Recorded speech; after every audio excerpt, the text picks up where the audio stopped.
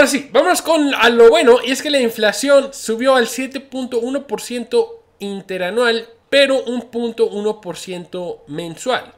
Mientras se esperaba que los precios cayeran a 7.3 en anual y a 0.3 en mensual. Cayeron más. Aarón, ¿qué significa esto? ¿Es bueno? ¿Es malo? Es las dos. Depende, ¿a quién le preguntas? Si le preguntas a los inversionistas adictos al dinero fácil, eso es una noticia muy buena. Porque significa que la Reserva Federal, el día de mañana, acuérdate que es el día de mañana, la reunión eh, te dice, ¿tendremos rally navideño o no fue gran cosa el dato de hoy? No, es que, es, es que, fíjate, ahí te va, te voy a explicar qué significa el tema de la inflación, cómo lo puedes traducir. Hay dos formas de verlo. Primero, significa que la Reserva Federal va a subir las tasas, pero ya no tiene la necesidad de estarle subiendo un punto 75. Entonces, sí, lo más, o sea, ya casi garantizado. Es más, no abrí las apuestas que, que hay acerca de las tasas, pero podríamos ya enseguida ver que lo más probable es que van a subir eh, punto 5, ya con casi certeza, un 90, 80% de probabilidad suben punto 5. Todavía hay gente despisada que dice que lo van a subir punto 35, la verdad es que yo ya no veo, es, ese escenario ya no es posible. Entonces eso significaría que no las tengan que subir tanto, quizás ya no la tengan que subir al 6%, quizás ya no lo tengan que subir más arriba del 5% y no lo tenga que durar durante mucho tiempo arriba de las tasas. Eso para los amantes del dinero fácil son muy buenas noticias. Significa que muy pronto empezarían a recibir de nuevo ese adictivo que tienen, esa adicción que tienen, se podría nuevamente reformar, no reformar, sino rellenar, rellenar, consumir de nuevo esta adicción que tienen. ¿Por qué es algo malo, no? Bueno, es que si tenemos que la inflación, recuerda que la inflación, acuérdate, ¿qué es la inflación al final del día? La inflación de los precios el aumento de precios. Al final del día no voy a hablar ahorita de qué es, la, el aumento de la base monetaria, no. Simplemente es la lectura de los precios que ya pasó, el pasado. Recuerda que cuando vemos datos de inflación, que los vamos a ver aquí, estamos viendo cosas del pasado.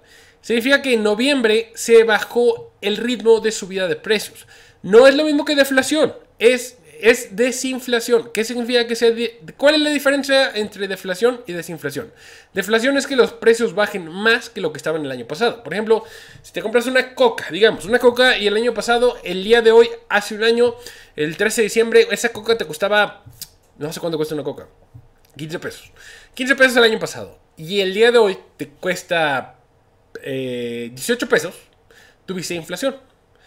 Si hace un mes costaba 17.50 mm, y hoy cuesta 18, es inflación, pero al mismo tiempo en términos mensuales es desinflación. Porque sí subió, pero ya no el mismo ritmo. ¿Entiendes? O sea, se bajó la aceleración de la inflación, de las subidas. ¿Qué es la deflación? El año pasado la coca costaba 15 pesos y el día de hoy te cuesta 13.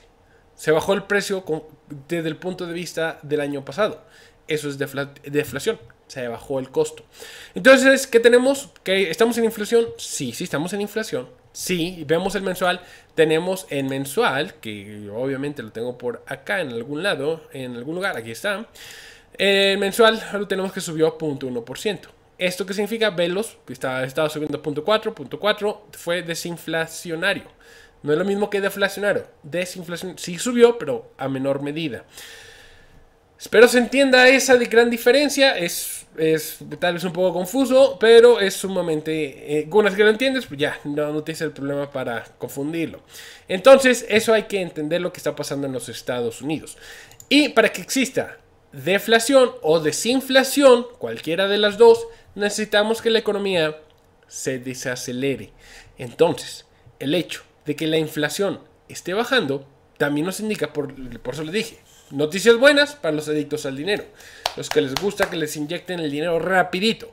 Noticia mala para todos nosotros los muertos de hambre, come maruchans asquerosos que estamos en la calle sin un Ferrari. Pues mala noticia para nosotros, porque significa que se va a poner peor el escenario económico. O sea, se va a aumentar el desempleo, se va a aumentar las bancarrotas. Este escenario donde nos va mal, donde nosotros sentimos el dolor, es el que se va a estar cumpliendo lo vemos a través de este término de inflación. Entonces, eh, precisamente por eso se entiende por qué los bonos de gobierno de 10 años se compraron. Se compraron a un ritmo muy grande, cerca de un menos 3.5%, porque tenemos que los inversionistas están previendo que va a haber una recesión económica. ¿Entiendes? Ok. Bueno. ¿Qué más tenemos? Y me, están pidiendo que les diera el dato de, vamos a darlo, ¿por qué no? Vamos a dar el dato de lo que serían las estadísticas.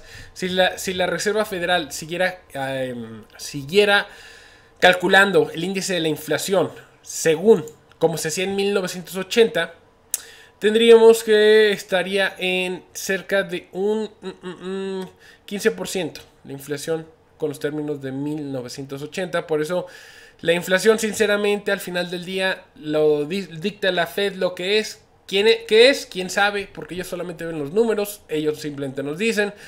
Pero bueno, tenemos que trabajar con lo que tenemos. Eh, nada más decirles eso, que esto es lo que sería actualmente si nos vamos a ver cómo se calculaba en 1980.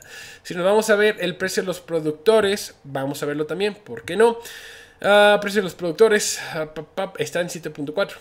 7.4 también está bajando, llegó a tocar su máximo en marzo de este año y de ahí se ha venido bajando. Ok, eso es muy bueno, sí, tiene que ver mucho con los energéticos, entonces si los energéticos ya bajaron sus costos, también va a bajar esto.